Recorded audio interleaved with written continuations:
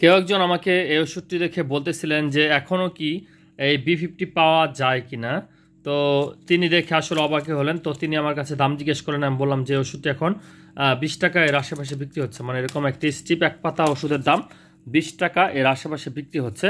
তো সেই হিসেবে এখন যেহেতু সব ওষুধেরই বাজার চড়া, সেই হিসেবে কিন্তু এই ওষুধটি তুলনামূলকভাবে ওই পরিমাণে কিন্তু বাজারে মূল্য বৃদ্ধি পায় নাই। মানে এক পাতা ওষুধ বিশ টাকা, সেই হিসাবে কিন্তু কমই বলা চলে। তো এটি মূলত হচ্ছে ভিটামিন বি কমপ্লেক্স আপনারা একটু লক্ষ্য করে দেখবেন। এই জায়গাটা দেওয়া রয়েছে।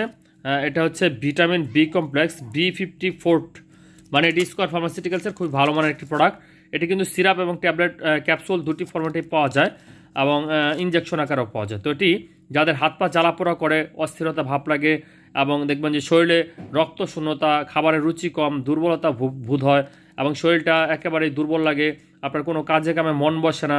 কিছুদিন পর পর দেখা যায় যে শরীর দুর্বল হয়ে পড়ে এবং অ্যান্টিবায়োটিক সেবনের পরে যে দুর্বলতা হয়, সেই দুর্বলতা দূর করার ক্ষেত্রে এই ওষুধটি কিন্তু খুবই কাজে দেয়।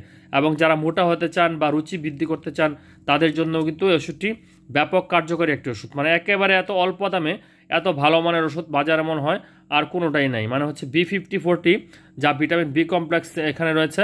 এটি স্কোয়ার ফার্মাসিউটিক্যালসের খুবই ভালো মানের একটি প্রোডাক্ট তো এটি যারা ব্যবহার করেন, তাদেরকে বলব যে এটি তো আপনারা জানেনই, অবশ্যই কোনো সমস্যা থাকলে কমেন্ট বক্সে লিখতে পারেন।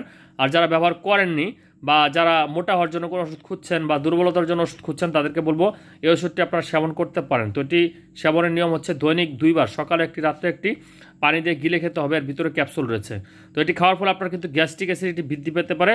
সেক্ষেত্রে বলব যে অবশ্যই গ্যাস্ট্রিক নিঃসরণকারী ওষুধ যেমন সেক্টো লসেকটিল ম্যাক্সপ্রো প্যান্টোনিক্স বা সার্জেল এই ধরনের ওষুধ আপনারা খালি পেটে খেয়ে নেবেন আর এই ওষুধটি অবশ্যই ভরা পেটে খাবেন। মানে খাবার গ্রহণের পরে খাবেন।